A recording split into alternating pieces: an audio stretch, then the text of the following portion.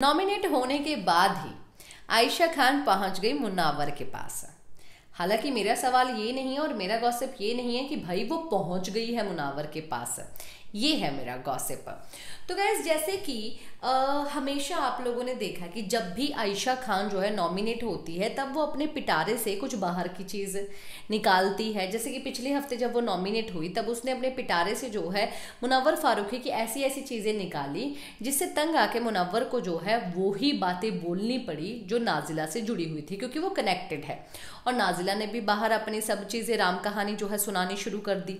अब ये बात है कि जैसे ही मुनावर ये लोग नॉमिनेट हुए, वही मुनावर के पास आके बैठ गई।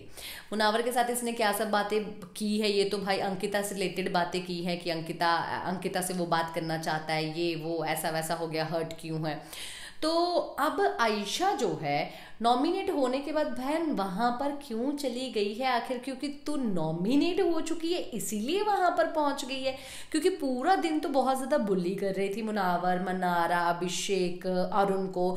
बहुत ज़्यादा लड़ाई कर रहे थे इवन रिक्वेस्ट भी करने के बाद भी जो है, आयशा ने मुनावर की रिक्वेस्ट नहीं मानी। और यही बात बोला कि जब बर्तन धुलेंगे, तभी हम खाना बनाएँगे। और बहुत ज़्यादा बुली कर रही थी। और तो ये भी बोल रही थी कि अगर एक हवा मारे ना, एक स्प्रे मारे तो मुनावर उड़ जाएगा, उसमें कोई दम नहीं है।